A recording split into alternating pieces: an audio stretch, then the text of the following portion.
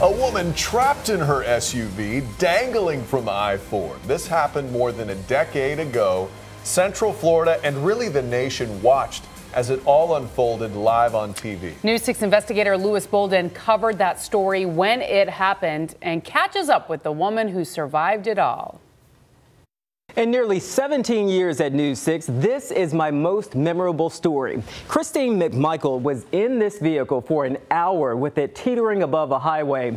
I interviewed her after she was rescued and decided to track her down all these years later. Oh my God, it's hanging over the over the over the overpass. The 911 calls came in by the dozens. It's hanging on the edge. Oh my God. Frantic drivers reporting an SUV is dangling from I 4 over State Road 46 in Sanford. The thing falls will fall on somebody. Christine McMichael was inside and nearly 16 years later remembers it all too well. Every year, J- July 10th, I think about it because that's the day it happened. It was 4:30 in the afternoon just as rush hour traffic was picking up.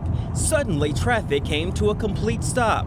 McMichael hit her brakes, lost control, and flipped over the guardrail and hung there. Initially, when you look down, it's like, oh my goodness, like your heart just starts racing. You you just, you almost go into panic mode, but you also go into survival mode. Like, what do I need to do now? Tow truck drivers first had to secure the vehicle. But it was a grueling hour before she could be rescued. I mean, as you're sitting there and you're just I'm praying to God, please don't let me fall, please don't let me fall, like over and over in my head. Eventually, McMichael has to climb out of the SUV and into the bucket truck. She was overcome with emotion after she did it, and now looks back at the whole thing with gratitude and a little laughter. That's why I just kept saying, please God, don't let me fall, please God, don't let me fall. That was your mantra. Because I knew if I fell, then I was gonna die, so let's just not fall.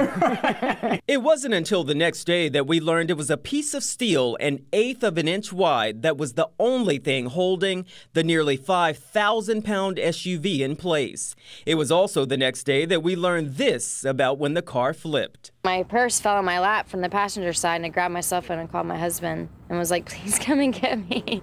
He's like, Did you call 911? I'm like, I'm sure everybody else in the world called 911, so I wanted to call you. McMichael's husband did make it down in time to see her rescued. For a while afterwards, McMichael says she was recognized around town as the girl from the bridge. but I have a lot of people that are like, I was stuck in that traffic thanks to you. McMichael is no longer with her husband, and her son, who was nine months at the time, is now 16.